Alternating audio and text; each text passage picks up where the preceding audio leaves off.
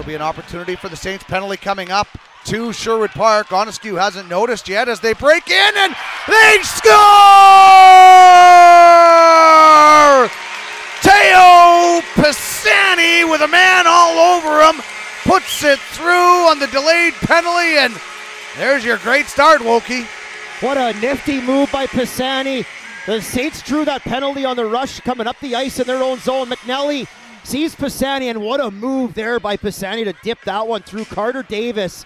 And then the patience to get around Eric Roos as we have another look at it. But an excellent move to go through the triangle of Davis. Crusaders take over, and here's Davis back at the point. Shot through, tipped, and they score. Uh, the deflection at the side of the net from Hauer, and we are tied at one. Yeah, inability to clear a puck out there. Wyatt Davis ends up finding that puck in the middle of the ice, right on the blue line, has all day to get rid of the shot. To Souch in, they try to move it into the slot area and kicked out by Onescu. Another great save by the goaltender, and he gets across to the left side to make another terrific save. And the Saints getting the goaltending they need to get back and take this lead. Good job on the goaltender to be patient. I love that first save with the right pad, too. Such a quick shot. And the Crusaders unable to get it out because this forecheck from Spruce Grove is so steady. And now it's in front. Kirkpatrick, the backhand scores! Pardon me, Teo Pisani again with the backhand shelf. And oh, wow, what a start for Teo as he has two. Pisani's second multi-goal game of the season, and just some excellent work on the forecheck as the Saints do exactly what the Crusaders did to them earlier on in the first period. And what a finish, what a set of mitts here by Pisani. Takes out one in the midsection. Quick little Hauschie going forehand, backhand up over the right pad. Puts it wide, it was deflected. Now they send it out, and the Crusaders, Noah Wills, shorthanded. Bothered there by Dawkins. Penalty coming up, or will it be a penalty shot? It is! The first ever AJHL penalty shot at the Silent Ice Center.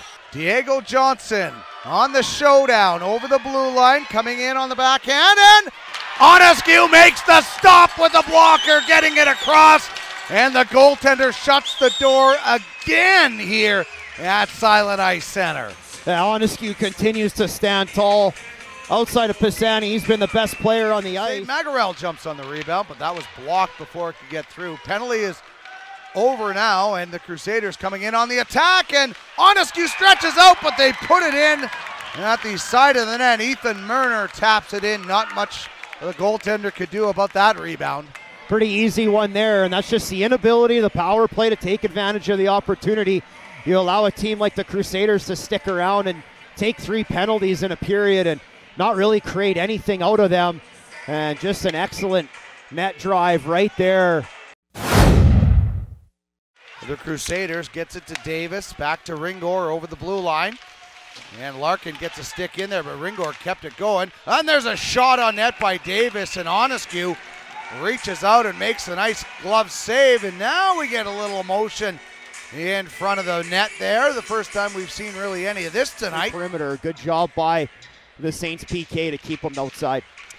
Yeah, the Crusaders getting a little bit closer on the Friesen brothers shot clock as they score in front. It is Hunter Price, and the Crusaders take a 3 2 lead. Set play off the face off there, and Price finds himself all alone in front of the net.